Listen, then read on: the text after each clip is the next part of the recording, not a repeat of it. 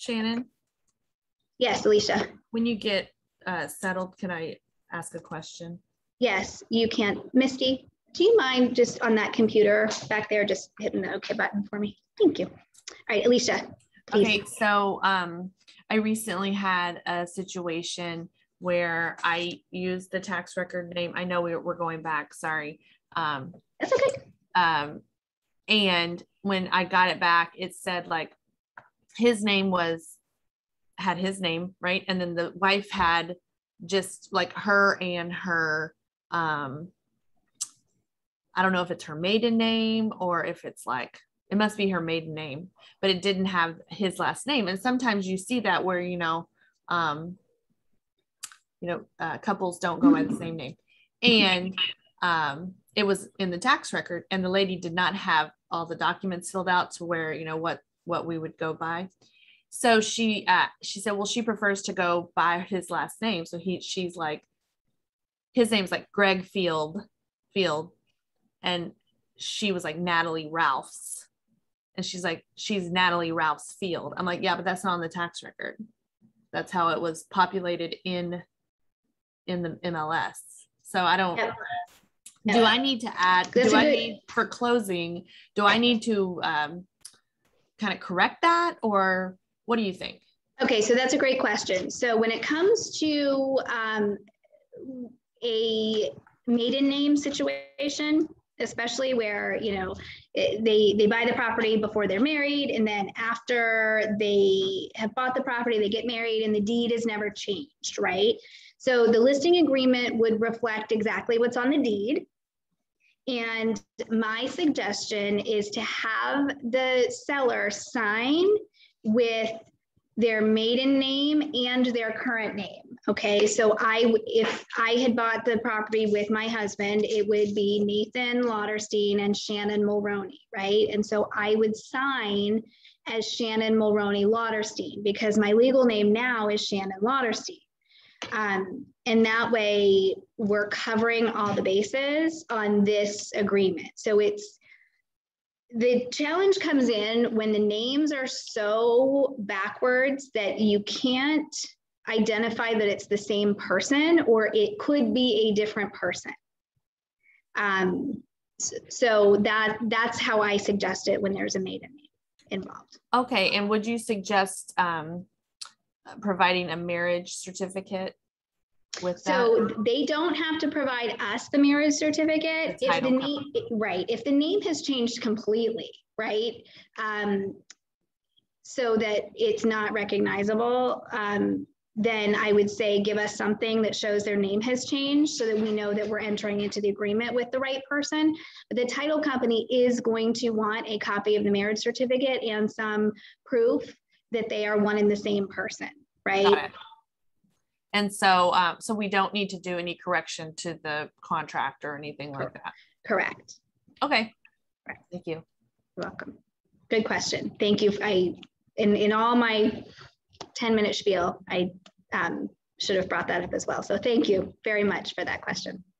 All right, so we are on legal description. Uh, lot block subdivision is how most of our legal descriptions are going to be uh, played out for us. In our tax records, there is a section that in most cases, we'll break this down for you for the lot, block, section, or phase where the property is located. Um, and it will have a section for the subdivision or condo association. There's also in the legal description, you can uh, decipher the code, which I will be showing you, to pull out the lot and the block and the phase, it's in the legal description.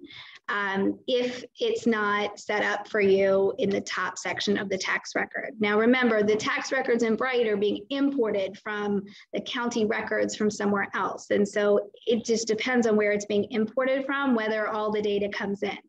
But the, the actual true legal description is, is going to have the information for you the county or municipality that it's in. Um, so if it's in the city of Falls Church, right? Versus um, Fairfax County if it's in Falls Church. Um, the deed book, um, that's the liber number is sometimes how it's reflected um, a page number. Metes and bounds, you're not going to deal with too much up in the Northern Virginia area. Occasionally, there's going to be some rural um, properties that our Fredericksburg agents will come across that maybe it's a metes and bounds type description. Usually it's lot block and subdivision. MLS description, this is easy, fill in what you know. Basement entrance type, this confuses people a lot. Um, basement entrance type is how do you get to the basement? So is there a connecting stair from the inside? Um, usually that's the case in the properties that we sell. It's not like a cellar that you access from outside of the property. The basement type, is it walk up, walk out, um, fully finished? Go ahead and just make notes on there for what you know and your seller can tell you this is gonna help you for later. All right, notices. This is just like on the buyer agreement. We need the seller's contact information. I promise you I'm not contacting your sellers unless I absolutely have to. Um, and very rarely would there be a reason. Broker firm information is on your marketing cheat sheet.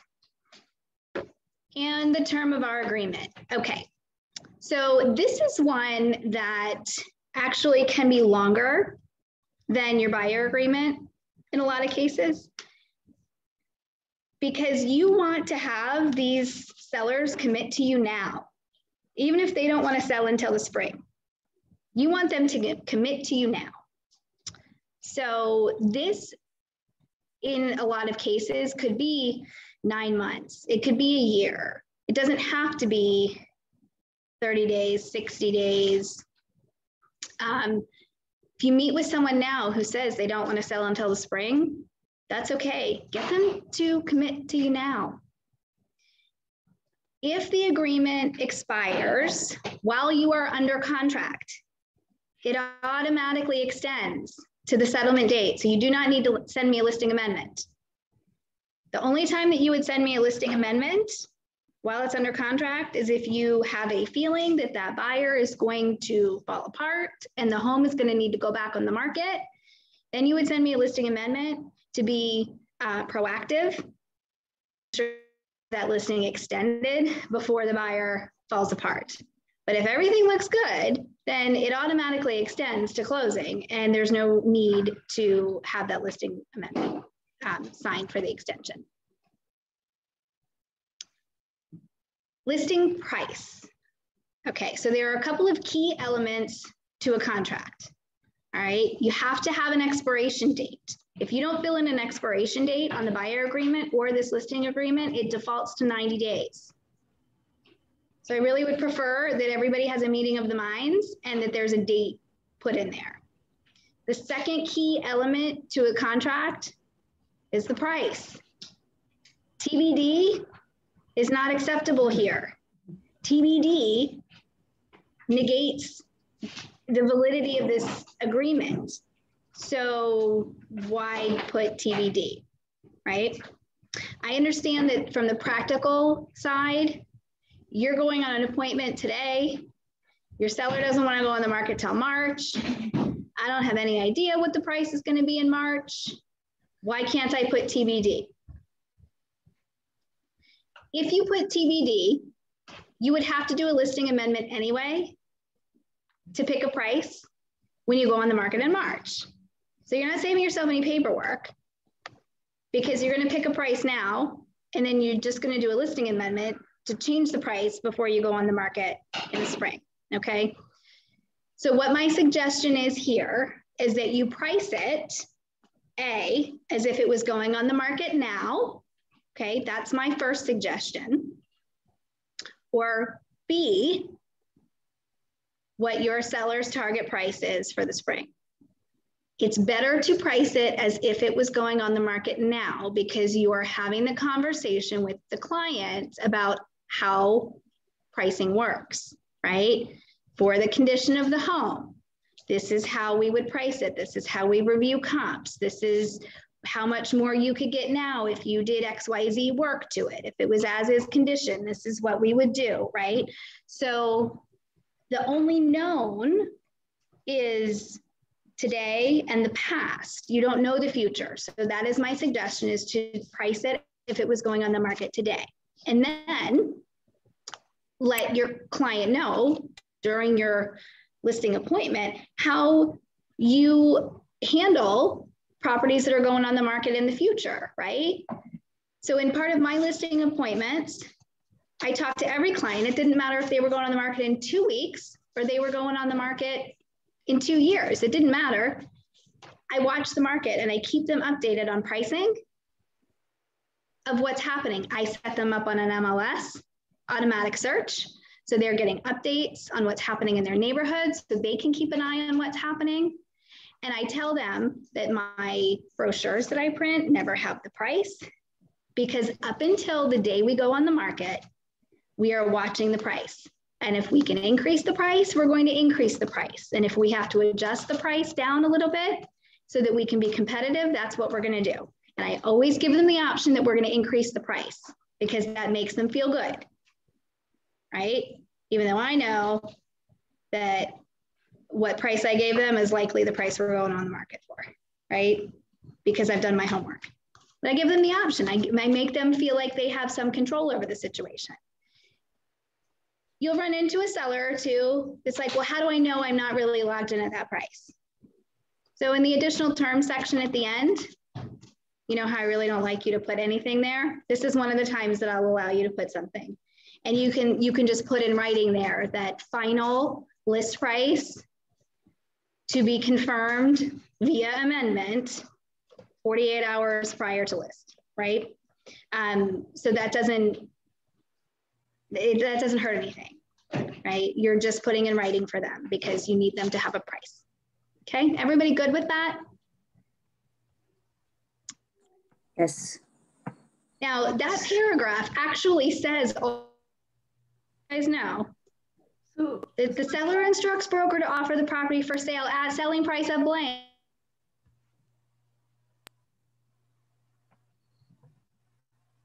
Shannon?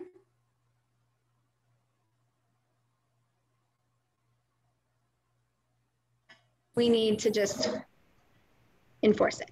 Okay? Shannon, quick question. Lydia, you have a question? So you said that Yes. the final list price to be confirmed two days before it goes live. Is, is that like an addendum or should we put it right on this contract? As a No, note? there's a section right at the end for other terms, and you can just put it right there. Okay, Okay? And I'll show you guys where that is when we get to the end. okay, thanks. All right, conveyances. The conveyance section is um, important to talk to your sellers about during your listing appointment or when you're reviewing this so that there is no confusion at the final walkthrough of what's supposed to still be attached to the wall and what is supposed to be off the walls and what's supposed to still be in the property and what's supposed to be not. Gailey. I just had this happen yesterday that I walked through. The um, TV mounts were all taken off. Oh, yes. all taken off. And I called the listing agent and I said, hey, she took all the TV mounts and properly So we had to delay closing like half an hour to get a credit to repair the Mhm. walls. My clients didn't care about the TV mounts, but. Right, but the holes in the walls they cared about. Yeah, exactly. Like. Yeah. Wow. Yeah, Did They know, and he's like, I told them. Right. They want to go with the, the seller to them anyway. Yeah. So Gailey had a situation yesterday that's exactly what we're going to talk about, um, having to do with TV mounts. And um, one of the suggestions that I make, even though this the agent on the other side confirmed that they had the conversation with the sellers, um, I, as a listing agent, always go and do a quick walkthrough before the buyers go and do a quick walkthrough. Okay, I know many of you have heard me say that because I want to know what the buyers are going to see before I get a call from the buyer's agent with whatever they saw, right? I want to know how the property looks. I want to know if my clients didn't listen to me. I want to know if I've got to do a quick whatever, right? Or I want to know if I should pick up the phone and call the buyer's agent and say, oh my gosh, I'm so sorry. When you guys get here, you're going to see that there are, hole, there are holes left. I'm not sure what happened yet. I just saw it. But I just wanted you to know I'm working on it and I'll get back to you because the reception that the buyers have when they walk into the house and see the holes in the wall is going to be much nicer because they knew about it than showing up and being like, goodness gracious, right? Like, come on, could they have just done what they were supposed to? Yes, So, one. It, I, I just thought of it when you mentioned holes in the wall. So we went to see this house yesterday. They were about to offer. But it's our third time seeing that house, Mhm. and they're moving out like now. Mhm. And there was a TV mounted, Mhm. and now they it's gone, Mhm. and there's a hole in the wall. Mhm. But like, we haven't offered on it yet. So does it not Mm-hmm. matter? Right, and we're gonna talk, we're gonna talk about the condition more on Monday. Um, as far as what the condition needs to be when you get to closing. So just, so my question when that happened, and I had to call through, I'm like, so, um, what happens? Can we, can we stop the whole process, right? No. As buyer, like, so can the buyer say, I'm not proceeding to close? No. So the question, the question is if there's an issue at walkthrough, can the buyer not close? And the answer is no. The buyer's remedy is to close and sue the seller. And we're gonna talk about that a lot more next week when we get into the contract documents. Uh, Shannon, But usually we work we can work it out. Yes, Mary. uh, so how many days uh, the buyers has after settlement to address any like anything wrong with the with the with the house after the walkthrough? Sometimes our eyes Well- didn't, don't pick something, and then the buyers second day, third day, they said, Mary, this is we didn't see it, and they send a picture or something. Well, so technically none, um, unless they're gonna take it to court. And I don't know what the statute of limitations is on that. Um, that might be a David Robertson question. It's probably something between one and three years, just based on my little knowledge of uh, law in Virginia. Um, but we'll, we'll talk about some remedies next week when we get to the contract. So what, what we're doing right here with conveyances is talking to the sellers about what has to be left in the property and what is um, optional to be left in the property. So this has pre-printed language that's, um, that mimics the contract and says that the property includes the following personal property and fixtures. Okay, so there's a lot of this that's considered a fixture that will automatically convey if it's there already. Okay, so if existing, the built-in heating and central air conditioning equipment, the plumbing and light fixtures, sump pump, attic and exhaust fans, storm windows, storm doors, and screens, installed wall-to-wall carpeting, windows, shades, and blinds, window treatment hardware, smoke and heat detectors, TV antennas, exterior trees and shrubs. Unless otherwise agreed to in writing, all surface or wall mounted electronic component devices do not convey. However, the wall mounts and brackets and hardwares convey. All right, so let's talk about this for a minute. Basically, what it's talking about here when it comes to the TV mounts and the components and window treatments and those types of things is if the piece is physically attached to the wall, it stays. If the piece is removable, right, then it goes. So window blinds and shades automatically convey. Why? Because it's a one piece unit that is attached to the wall right? You don't pop the blinds off of the brackets to take them on and off, right? The brackets are attached to the blinds and they go on the inside of the window, right? Window treatment hardware, all right? So this is saying that your curtain rods, the rods themselves, if they sit on top of a bracket. The rod can go, but the bracket conveys because the bracket is what's attached to the wall. Now, if it's a one piece unit, right, where it's all together, and if you take the rod, you have to take the bracket, then the rod and the bracket stay. The curtains themselves are considered window treatments, right? That's the definition of window treatments is curtains. The curtains are optional. They are personal property because they can come off of the rods. So that's down on the bottom where you would mark yes or no to window treatments.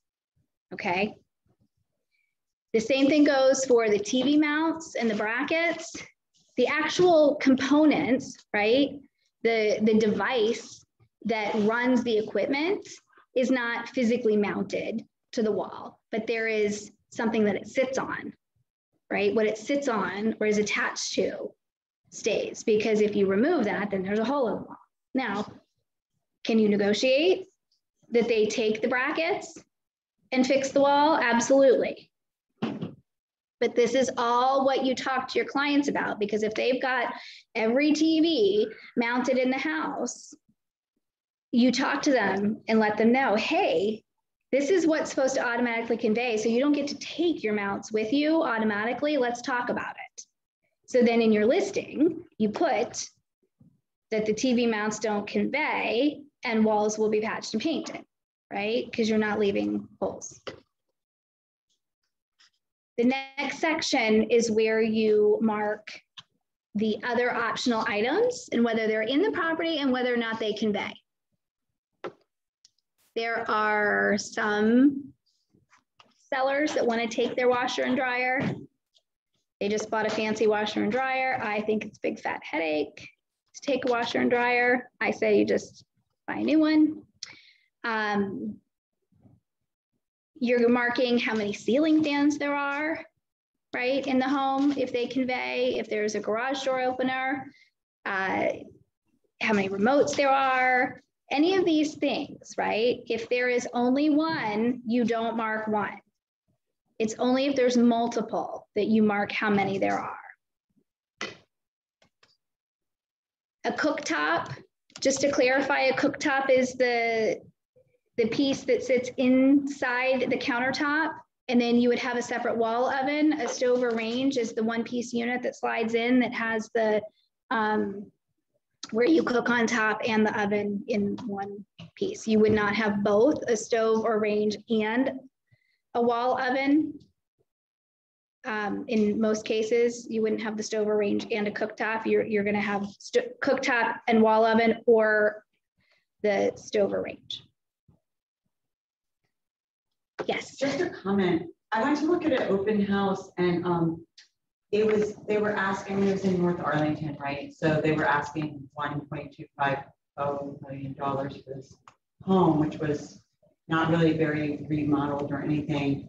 And they had taken the washer and dryer. There was no mm-hmm. washer and dryer. Mm-hmm. I thought I was, I was, I asked, I said something to the agent. I said, that's a lot of money to ask for a house and not have a washer and dryer. He said, well, uh, the, they just bought a new one and, and they wanted to take it with them. And I told them, do whatever they want. And I thought, well, maybe they could have replaced it with a lesser expensive yeah. model just so that I yeah. just thought that was the strangest. Yeah, so it, there was there's a property that um, the sellers had just bought a washer and dryer and they took it with them, and so the home shows without the washer and dryer. And a suggestion for sellers that want to take something um, is to take it out of the property before you list it and replace it with something. Um, I've had situations where um, sellers have had light fixtures, chandeliers, things that they want to take with them. That's great. Take it down, replace it with something so that it's not even a question. Um, try to have the, you know, it's a best practice to try to have the home show exactly the way that it's going to convey um, as far as those fixtures are considered. Same thing with wall mounts and TVs, right? Take them down. Just take them down before you go on the market. Patch and paint. So then there's no question. Shannon?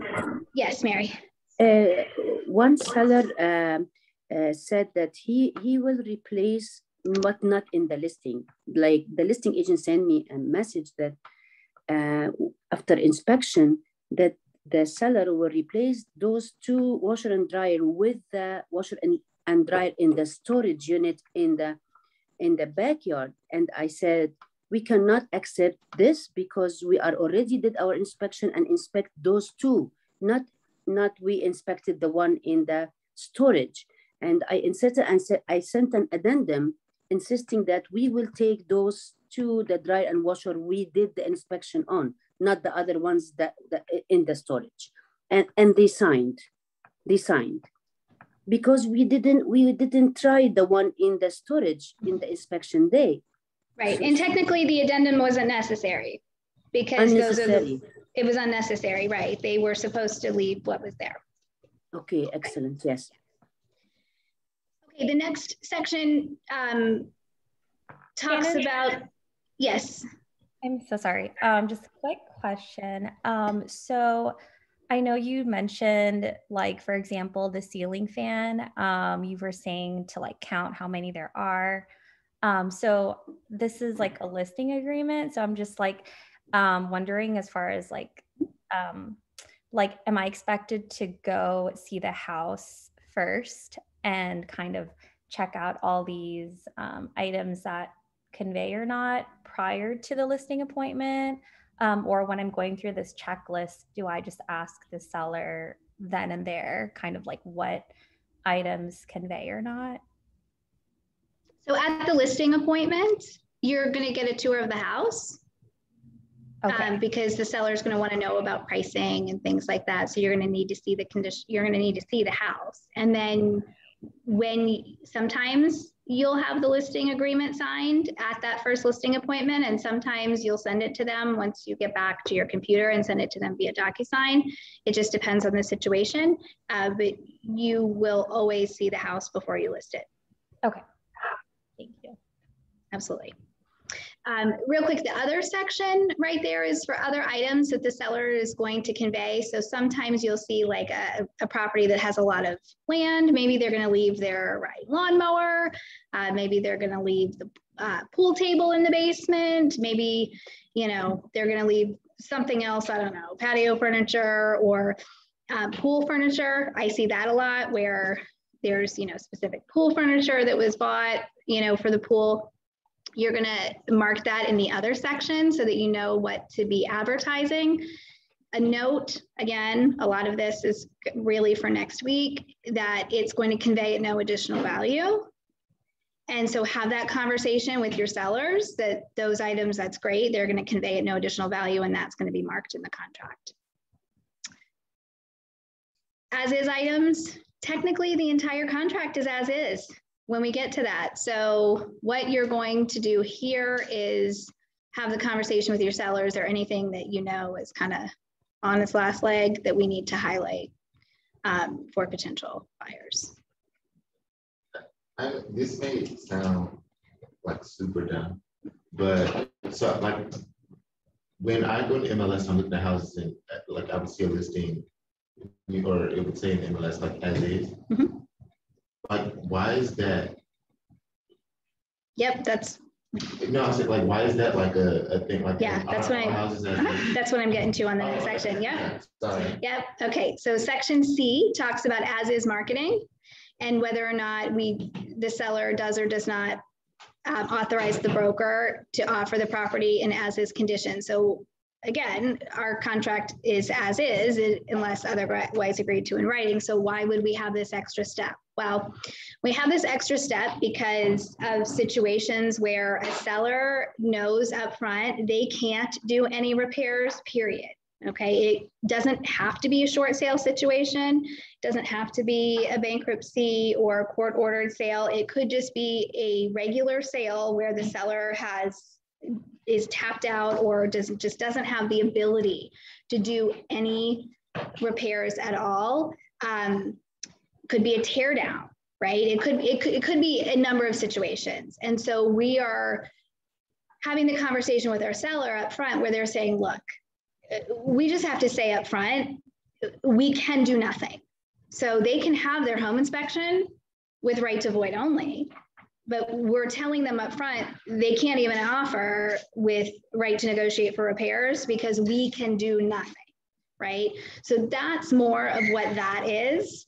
Um, there's also in our contingencies and clauses addendum an extra spot for the property to not have to be delivered free and clear of trash and debris and um, to not have to comply with HOA violations and some other things. And that goes into the as is marketing um, to sort of alert potential buyers.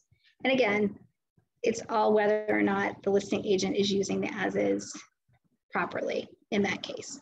Um, Gailey and then Christina. So, so this is when, so an agent will put it in and you'll see houses offered as is, like Yeah. an agent marks or something. This is what you're saying. How does this work with the seller's responsibility to disclose? Like, if they know they have a cracked foundation, they're not going to. They have to disclose that, I guess, I guess, I'm not sure what as is, I know they're saying they're not gonna do any repairs, but Right. is that, are you also saying, we're not anything? Yeah, so Gailey's question on this as is marketing has to do with sellers requirements for disclosure. And there is not a requirement for condition on the seller to disclose anything on condition. That it's still on the agent to disclose the material defects. So if they don't tell the agent, Right. Now, the agent, if they could have or should have known or have actual knowledge, then the agent is responsible. So the agent can't say, I'm not coming to look at the house and then claim that they had no knowledge, right? Because it's, it, it, that's careless of an agent to not go and see a home, right? So that they would full knowledge, right? Um, but remember, the seller is in a buyer beware state. So the, the issue would come if a seller blocked a buyer from doing inspections and didn't in turn disclose all of the things that were wrong, right? That would be where the issue I is. don't, I don't understand the distinction. So if I have a cracked foundation in my house and Uh-huh. I market it as is, Uh-huh. so I'm, and then I say, I'm not gonna allow you to do a home inspection at all. That's where the issue is. Okay, Yeah. Yeah, they, the seller doesn't have to provide any information on the condition. However, they have to allow the buyer to do their own due diligence to determine the condition. or just not accept a contract that has, or wait for a contract that has no inspection. Right, Christina? Just as a quick follow-up to that, um, so if they did disclose to the agent, where would the agent disclose that information? Okay, that's a great question. Yeah, for- for disclosures. So the best thing to do though is to have the seller actually disclose it.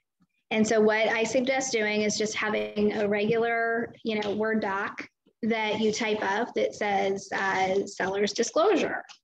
And then the seller bullet points what they are disclosing. And you put that with the D for the disclosure in Bright. And so you take the responsibility off yourself and you take away any confusion that you are doing something against representing your seller because you're having your seller disclose it and then they sign it. Do you have to put that in the verbiage or just upload it as a disclosure? Do you actually have to say that? If there's something, if there is something specific, like HVAC doesn't work or there's a crack in the foundation, yes, I would absolutely advertise it. I mean, you don't have to like send it up with, you know, flares, right? Um, but I, I would because it might deter someone from coming to look at the property. And that's the whole point of having appropriate advertising is you don't want to waste someone's time right? You want to be able to make sure that they know ahead of time and they and then there's still going to be a lot that come anyway and say, well, let me take a look, right? It might not be as bad as as it sounds. So if the seller uh, is just doing as is and they don't know that it's a cracked foundation, but then a buyer is interested and they have an inspection and they learn that it, do they then have to add that to their disclosure sheet after that? The the agent would have to disclose, yes. The agent discloses Yeah. that. Well, the agent has to. So remember, it's it's best practice for the seller to be the one to disclose it, but either way, the agent has to disclose it Okay. because the agent has actual knowledge. Okay. Okay. All right, leased items or service contracts. This is where you would find out if they already have a home warranty that's going to convey, if they have um, propane um, that so for the property, then the propane tanks in a lot of cases are leased from the company that uh, provides the propane. And so they, they get a discount, right, for the um, fuel that's put in. And so you need to know who owns the, the propane tank that's in the yard, um, anything like that, um, alarm system, you know, that this is where you're going to find out from the client. Um, yeah, solar panels. Mm-hmm, absolutely. Home warranty.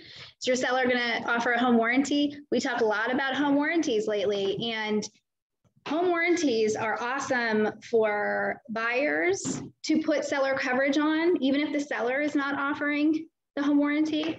The buyer, as soon as they ratify, can, you can order the home warranty with seller coverage so that you are covered prior to closing so that the pre-existing condition issue is mitigated, right? So if it's two days after closing and something breaks, you've already had coverage on the property, okay? There is no risk for the uh, sellers to have coverage if the buyer doesn't ask for it in the contract. So you put seller coverage on, seller doesn't pay for it if the buyer doesn't take the warranty. So even if the buyer, even if the seller uses it, even if the seller has something break and uses it during the seller coverage period, the seller doesn't pay for the warranty. They pay their deductible, but they don't pay for the cost of the warranty. So to me, it's a no brainer, right? It would just be in my checklist, right? For every listing that I have, as soon as I get the listing agreement signed, order a home warranty, right? It, there's no downside to that. So there is really no cost to the seller? The cost to the seller is only if the buyer gets coverage for after closing. If the buyer does not request the home warranty, then the seller does not have to pay for anything.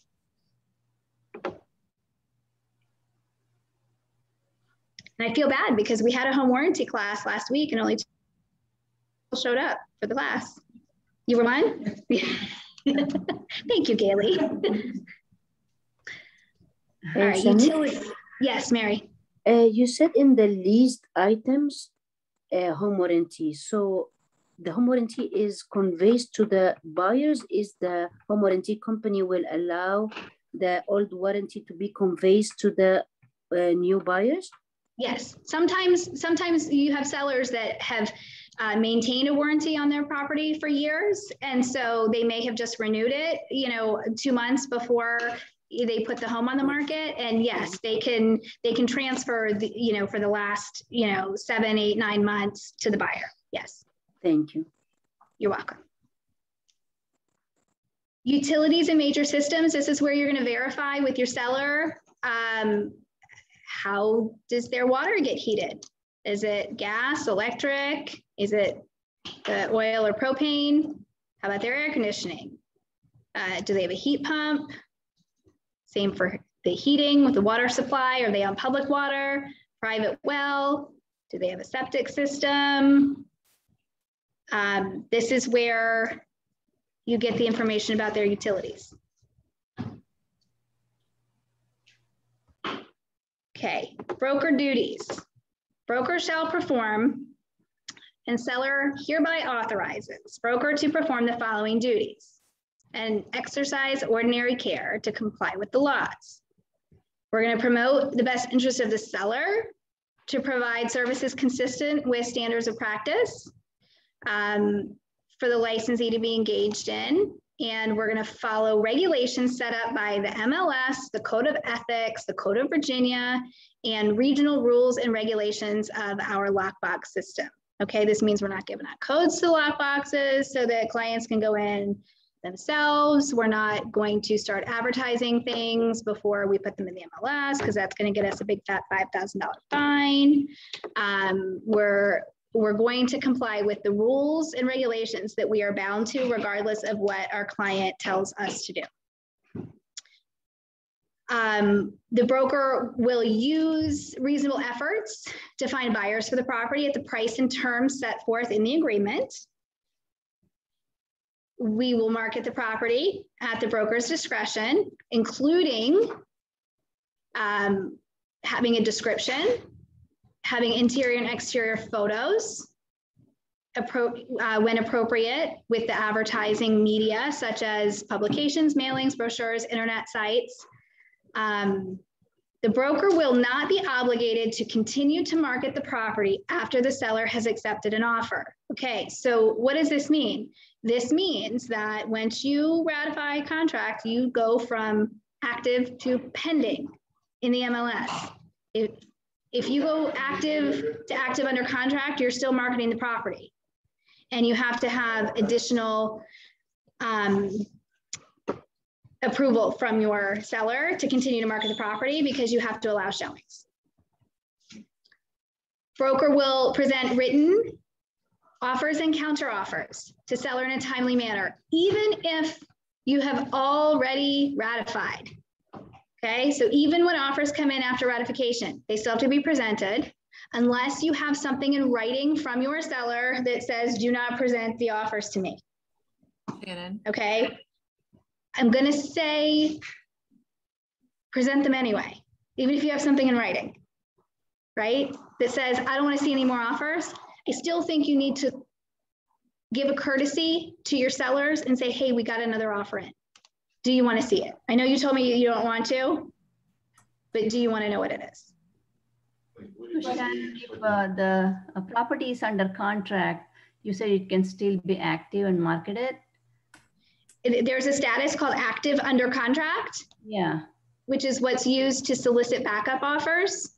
And it means the home still has to be shown and it's still available in the MLS. It's not active, it's called active under contract. So it means that there is a contract on the home already and backup offers are welcome.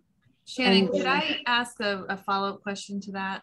Yes. Um, as a listing agent, if you're going to put it active under contract and keep showing it, um, and you have a ratified contract on that, is it a courtesy to tell the buyer agent that you're doing that, or is it not really necessary? Or is it, or is it, you know, absolutely you should be doing that? So it's not it's not necessary and it's not even a required courtesy. It, this is an education thing for the rest of our um, subscribers to the MLS and members of um, our associations because the next item on this says broker shall not continue to market, show, or permit showings after property is subject to ratified contract unless otherwise instructed by the seller in writing. So every listing that shows as active under contract, at some point, be able to feel confident that the seller has directed to solicit backup offers, right? And so if I'm a buyer agent and I see that it's active under contract, I might call the listing agent and say, hey, um, are you guys looking for backup offers? Or did you just put it in the wrong status by mistake? Right? Um, I mean, you can tell them, look, my seller, you know, because it's vacant, we're just going to leave it active under contract, you know, just in case you never know what happens, but, you know, we know you're solid, whatever. Um, so that's up to you, but there's no, there's no obligation to say anything. Um, I will say in most cases, agents are using the status incorrectly. They're using it like it's contingent on, you know, financing, home inspection, whatever, instead of putting it in the correct status of pending. And that's what I recently came across being on the buyer agent side. Um, she put it active under contract. And I said, Are you still showing the home then? Mm-hmm. And she said, Oh, yes, we are. And I was like, Oh, so you're taking backup offers? She's like, uh, Yeah, until all of your contingencies are gone. So, uh, you know, Right. Which so- they can. which is fine if that's yeah. what they're doing. I just, I, I wanted to make sure it was in the right column, not pin, you know, like you Right. say. Yeah, So- exactly, which you can check. Um, who did I miss in here? Christina or Gailey? I have a question. So just to clarify, once it goes into pending, you are not still accepting backup offers, right? Pending, when I see pending, that to me says we're done. Yeah, Is that correct? so, so the question is, once it's in pending, you're not accepting backup offers. So you as a seller are always allowed to accept backup offers, right? Any offer that comes in, even when it's pending, can be accepted as a backup offer. What it means is that you're not actively soliciting backup offers and you're not allowing showings. So Shannon, what if the backup offer is higher than what the uh, under contract offer is? Then the seller probably wants to ratify it as a backup offer so that if the first buyer walks away, they have a good offer to take. Okay, so they cannot just accept the second one and then let the first buyer know that they are not continuing. Correct. Okay. Correct. Uh, G says, um, oh, F is about the earnest money deposits, but remember, we're not taking earnest money deposits. Don't touch someone else's money. That's the rule of thumb here. Broker shall, sh okay, this one's important. Broker shall show property during reasonable hours to prospective buyers and shall accompany or accommodate as needed other real estate licensees, their prospective buyers, inspectors, appraisers, exterminators, and other parties necessary for showings and inspections of property to facilitate and or consummate the sale of property. Okay, so if any of you are members of certain Facebook forums, you will see that agents complain a lot when they get a call from another agent or from a prospective buyer of another agent that says, Can you show me 123 Main Street? My agent's out of town. Okay. And the listing agent flips their lid and loses their mind and is like, Why should I have to show somebody else's client because they're out of town, blah, blah, blah, right? Or the agent calls from, let's say they call from Virginia Beach and they say, I have a client interested in 123 Main Street in Alexandria, and I don't have SentriLock access. Can you let my client in to see the property because I don't have lockbox access? What? Are you kidding? Why are you working with a client outside? Okay, right? Besides the whole ethics thing, we have agreed as listing agents to do what it takes to help sell the property, right?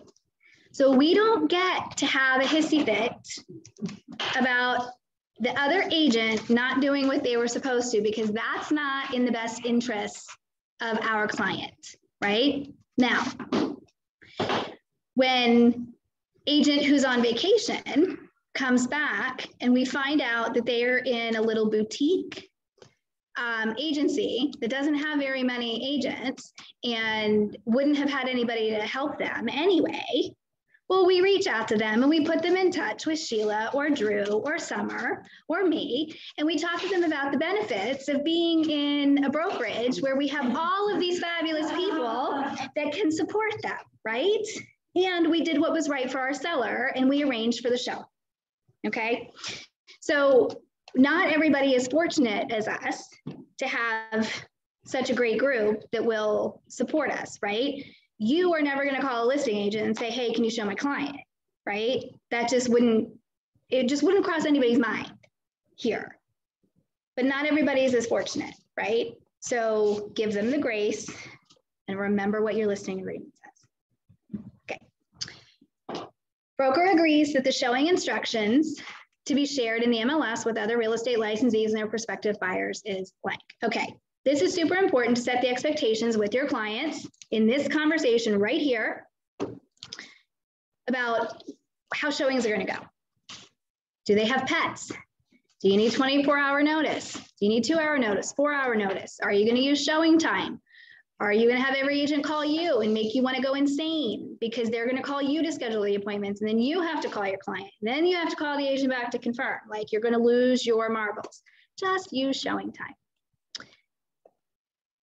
And you're going to have the conversation here about whether there's going to be the lockbox, right? Yes, of course, there's going to be a lockbox. It's going to be an electronic lockbox from SentriLock so that you can track who's going in and out, right? You're not going to use a combo box because I will beat you all.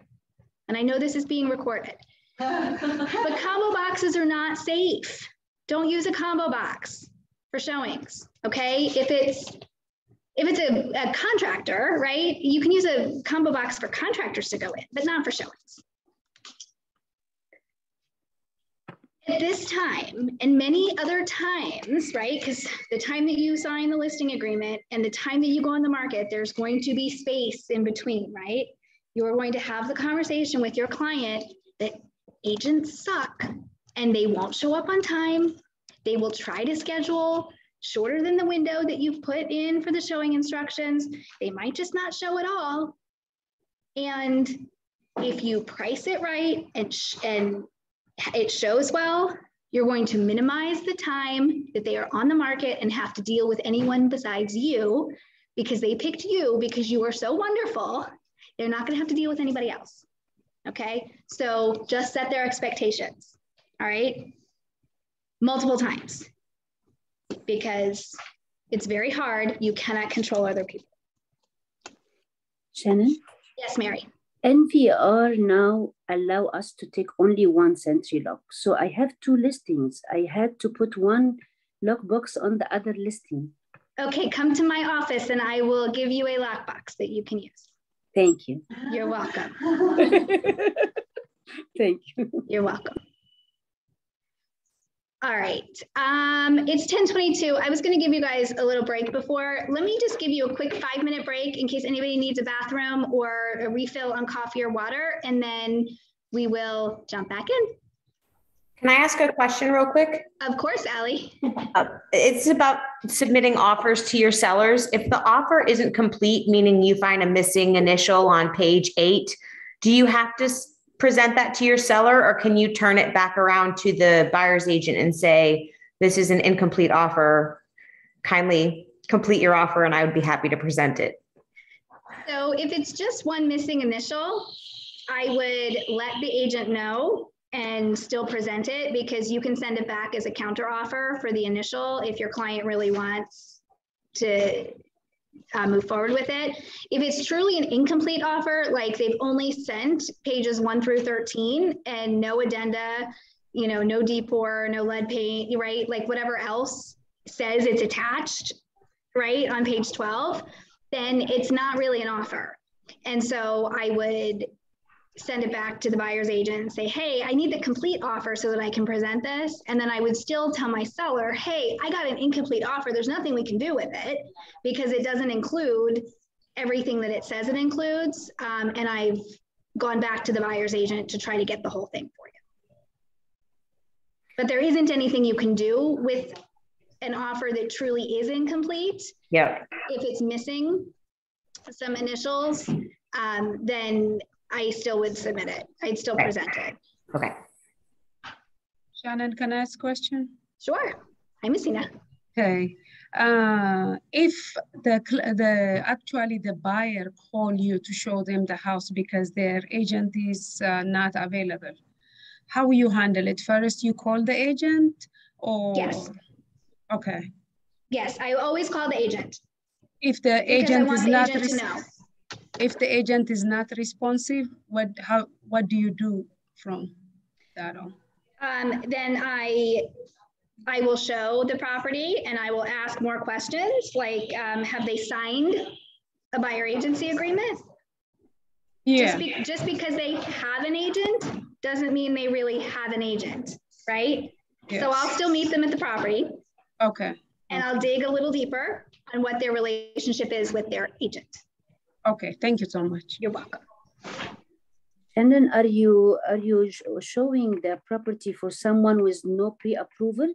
Even he said, "Oh, I'm working on it and I will get it soon."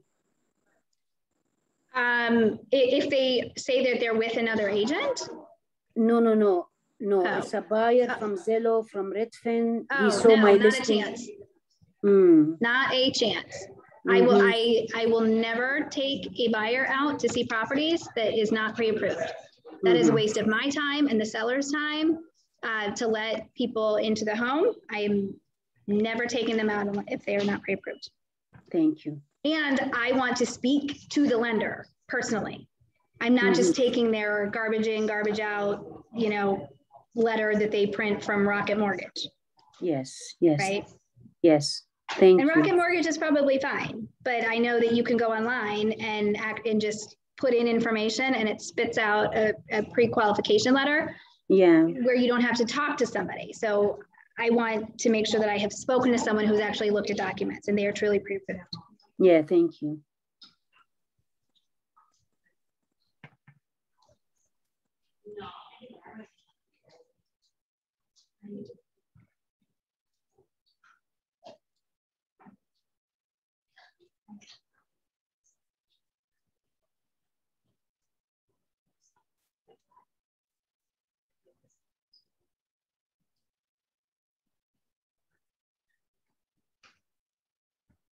Shannon, I know you're uh, on a break, but uh, uh, I just submit an offer. It is owned by LLC. And the listing agent is those flat fee agent, you know, just uh, to place it. We still use their information on the contract, right? So it, it the listing is owned by who? Um, the, those flat fee uh, uh, brokerage, Oh, you it's, know? it's an it's an MLS placement service. you mean? Yes, yes. Yes, you still yes you still use their information as the listing company. Thank you. Yes. All right, it is ten twenty-seven. So I want to go ahead and get into our material. Um,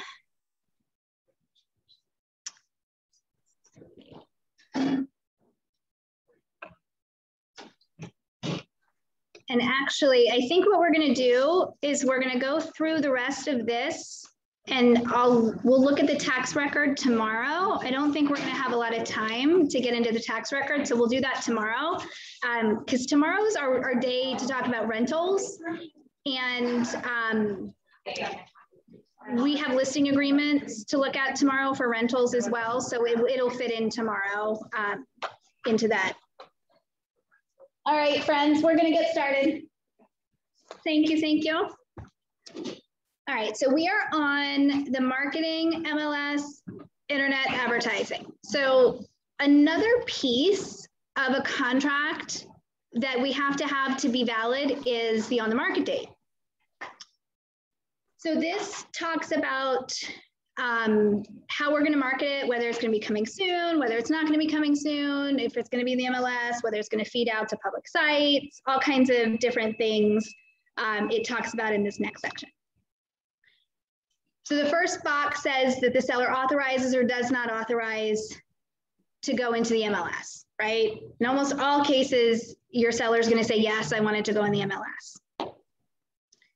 If the seller authorizes the property to go in the MLS, we have to have a date that it's going to go active in the MLS. So that's what this first section is about. When is it going to go active? So it's either going to go active three days from the date that this agreement is signed, or it's going to go on some date in the future. Now, back to our discussion earlier, when we were like, okay, get this agreement signed as soon as you can, even if they don't want to sell till the spring, right?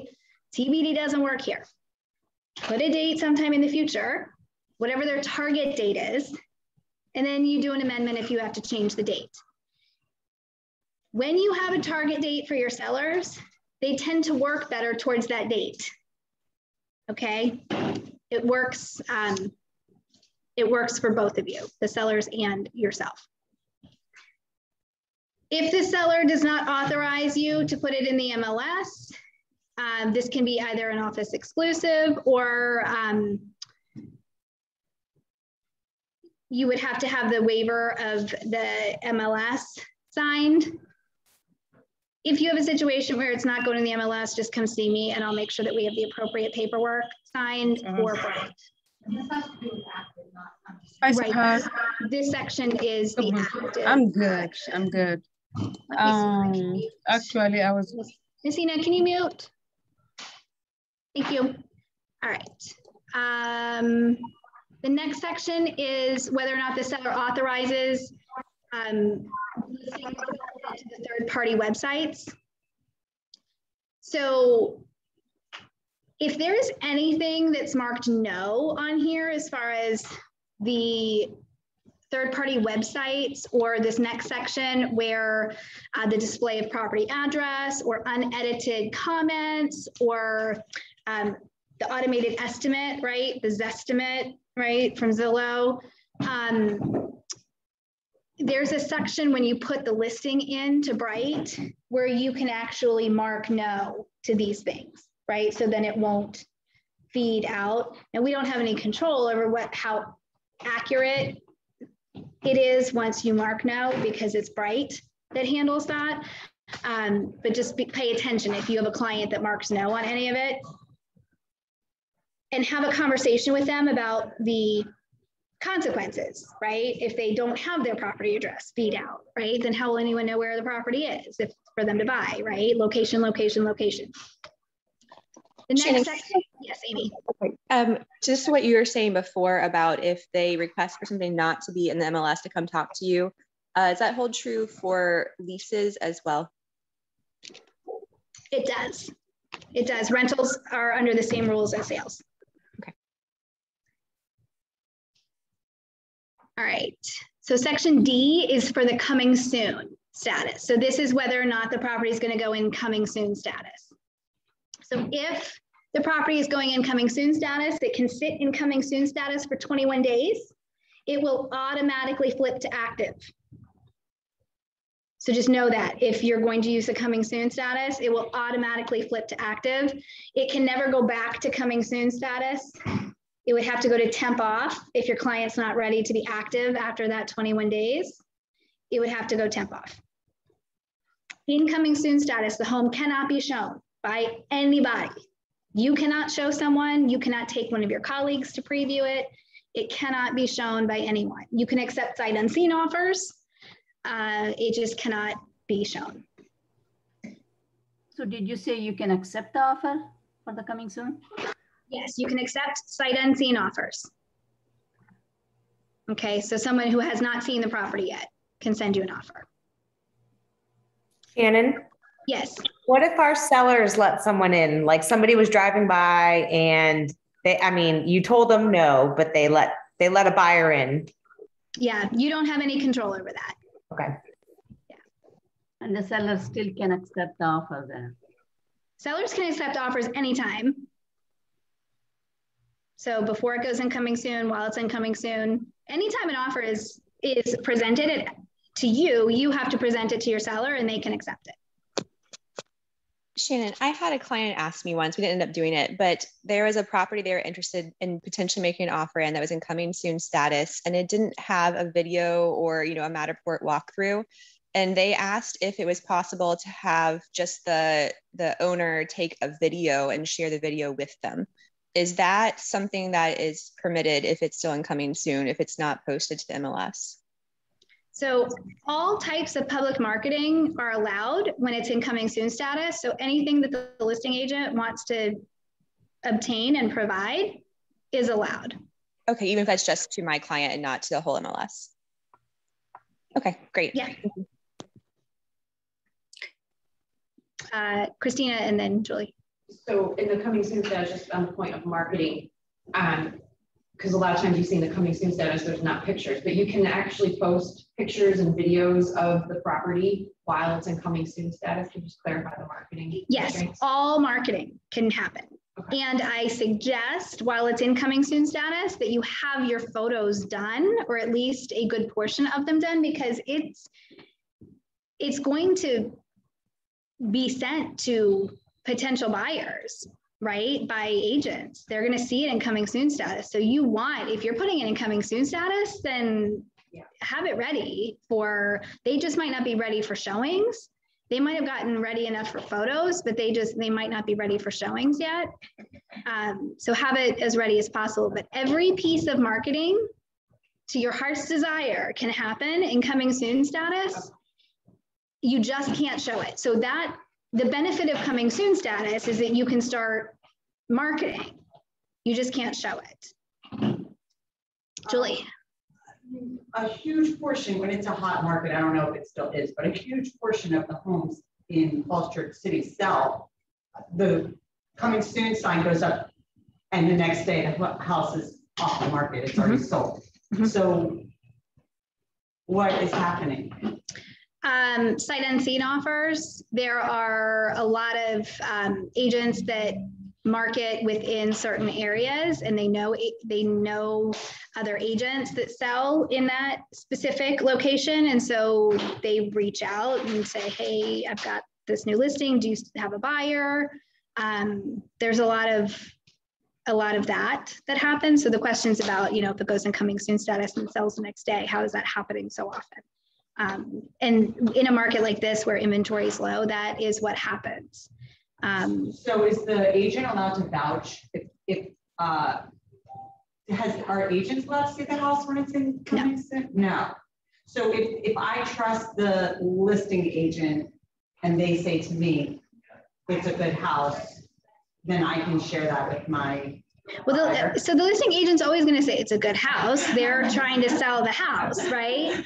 So it's it's about your buyer's um, willingness to put an offer in, and usually it's um, you know contingent on a home inspection, so they can get in during the home inspection, and they can see the home. And, um, and if you accept an offer, if your client accepts an offer when it's incoming soon status, and it's sight unseen, my advice is in the listing, in the agent remarks, put a comment that says offer received sight unseen. In the contract somewhere, put offer accepted sight unseen, just so you have a paper trail that shows that it wasn't shown.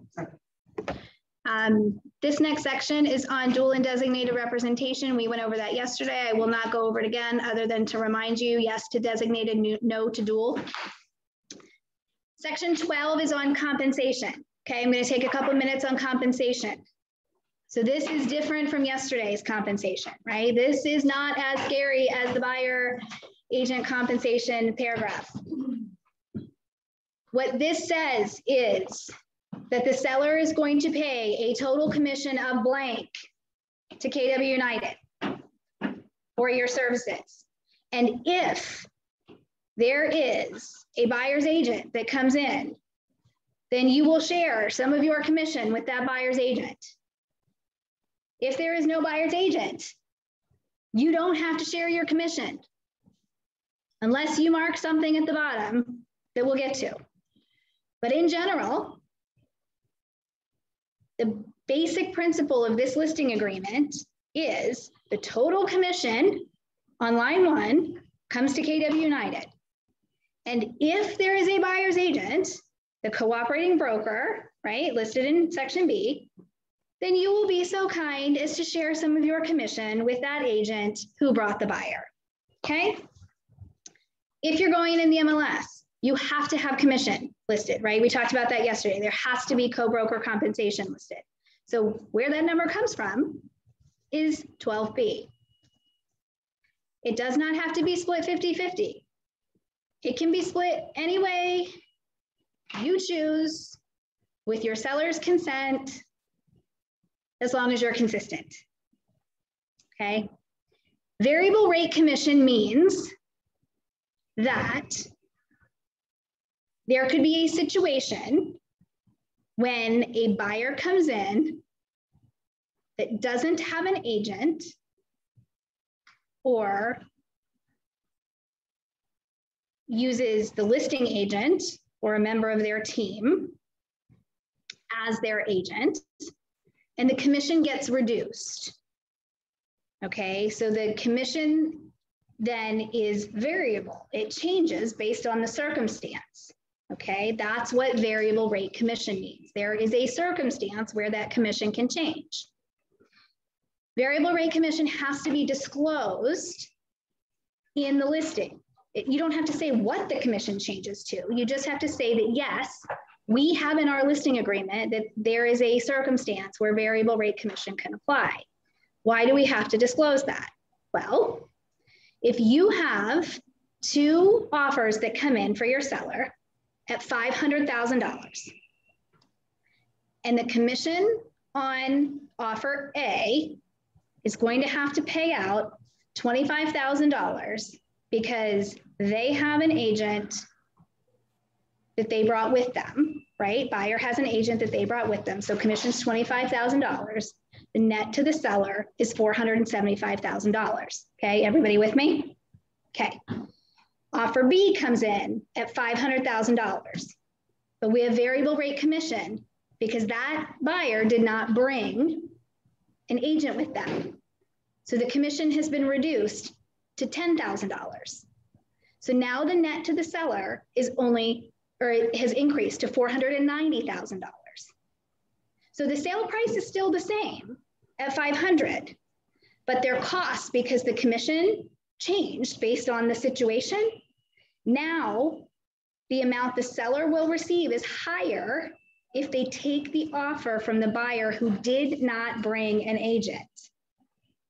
Okay, does everybody follow that? Okay, I'm gonna go over it again because I got some no's and that's okay. Two offers come in that are equal, $500,000. Okay, offer one brought, brought an agent. So they have to pay the full commission. The seller has to pay the full commission of $25,000. Okay, so now their net is 475. Okay, because of their expense. Offer B comes in and didn't have an agent.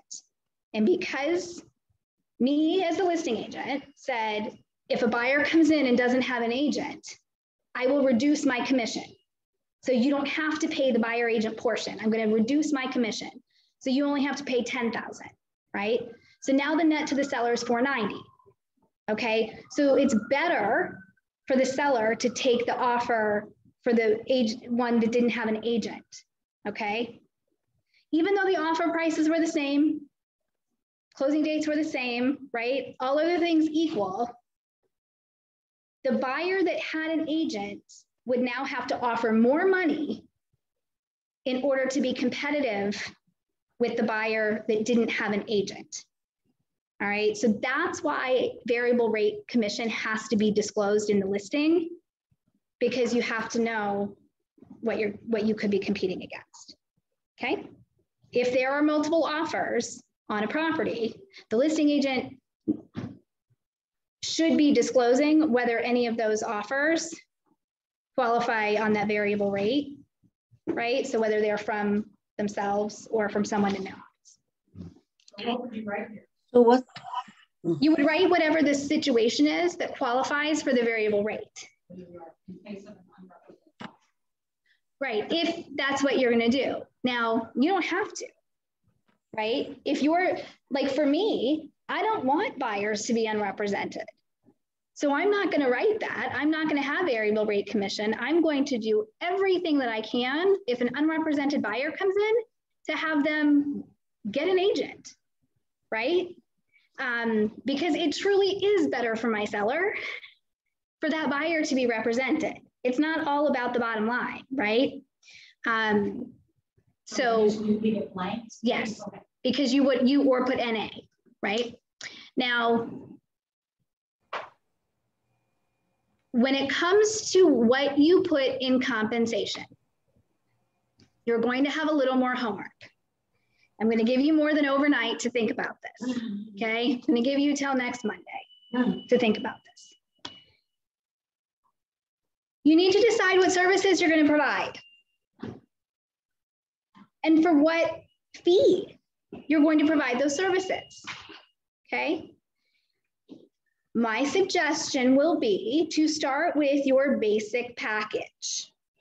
Okay, this is what my basic package is going to be and it's whatever you want it to be. So it's going to be professional photos, staging, one open house a weekend, professional flyers, social media, blah, blah, blah, blah, blah, blah, blah, whatever you want it to be. Okay. If you need help figuring out what that is, you can reach out to your coach, you can reach out to me, you can reach out to your team leader. We will help you go through this. Okay. You can reach out to an ALC member. You, you have people that you can run this through with. Okay. That is going to be your base package, and that's going to be your base fee. Then you come up, let's just call it the, uh, the gold package, okay? Then you come up with enhanced services that you can provide for an increased fee. That can be your platinum package. Okay, so maybe two open houses a weekend and paid Facebook advertising and whatever, right? So increased services for an increased fee. And then when you meet someone who wants to haggle you on your price, then you have your discounted services mm-hmm. where you get one open house a month and you get black and white brochures or whatever, right? Like you get your discounted services for your discounted price. And this goes back to our little bit of a discussion yesterday about not charging different people different fees for the same services. And so when you have this thought out and laid out already about what your fees are, what services you provide, it's going to be much easier when you go into a listing appointment and you have this laid out. Also, there's a little bit of psychology that goes into that, right? When you lay out three different prices, what are people usually going to pick? The middle. They, yeah, they a lot of the time they pick the middle, which is your basic package anyway, right? So think about that. So could you do five, five and a half, and six? Could you do five, six, and seven? Could you, whatever you want to do, you pick, right? You're not going to go below four and a half, right? Because we're not a discount brokerage. So four and a half is would be your lowest that you could go. And you're worth every penny that you charge. So when you remember that, you will get that. Okay. You are worth every penny. So don't discount yourself. So then you decide what amount you're going to be offering in buyer agency compensation, right? Think about how you feel when you see a ridiculous number in buyer agency compensation. Okay, think about that. How is the psychology when you see an agent that works with their sellers to discount the buyer agency compensation? How does that feel? Okay, have those conversations with your seller.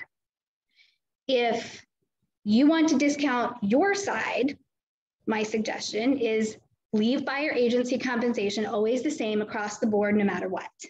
Okay, unless you have a seller that says, I want to pay more, take it. But pick a number. If it's going to be three, then always leave it at three. No matter what your number is, right? Your total number, you get whatever's left after you put three or two and a half or two. Yes, I did not um, change my facial expression there on purpose, right? Um, just think about that. Okay, you don't want to ever do a disservice to your seller when you're marketing the home. And there are buyers agreements that have high numbers on there that buyers are required to pay their agents. So remember that too. The buyer might decide not to come to see the house. Okay. Retainer fees and early termination. Retainer fee, of course, is that check that you collect up front. Maybe you do a retainer fee on your 7%, 8% listing, whatever, because you're doing all these extra services that require upfront costs, right? So you take a retainer fee on that. Most agents, I'm not seeing retainer fees, early termination fees on listings. I do believe in. I personally had early termination where I put the words actual costs on my listing agreement. And this, I would provide receipts. I didn't early terminate very often, but the couple times that I did, I wanted back for photos and things um, that I spent. Um, so you can put any number that you want there, um, or you can put the words actual cost. Yes, Gailey. So, you know, we had a situation where we had to terminate one of these. We put actual costs and ended up waiting and not asking for actual costs. Part of our thinking was we weren't sure if because we're terminating the agreement or is it just they, like, the Okay. capital cost only kicks in if they terminate the agreement, since we were terminating it? Okay, so that's a great that's a great comment. So Gailey said, when do the um, when does that early termination fee apply? If we're terminating it or if they're terminating it? Well, we do not have the option to terminate a listing agreement. So you, it, well, the buy, the seller has to, has to terminate. Now, generally, there's a meeting of the minds that the agreement is being terminated, but we cannot unilaterally send a notice to terminate a listing agreement, even if we cannot stand our sellers anymore. We can't terminate a listing agreement. Um, the buy on a buyer agency agreement, either party can serve notice. So we can set buyers free and say goodbye, have a nice life. Um, but on a listing agreement, only the seller can. So if there is a situation where you need to cut a seller loose, that's when I get to get involved and hang out with you and work it out. So She's really good at it too. So this is this is when we joke about how sometimes my mommy voice comes out at times that you guys don't like my mommy voice, and then other times you guys are really thankful that I have a mommy voice. Um, and I usually can work it out for you guys where you get what you need. Um, and even if the sellers are awful people, you should still get your costs. I've had I had one seller who a couple, they were awful people. They were horrible people. And I, got my money before we executed the release.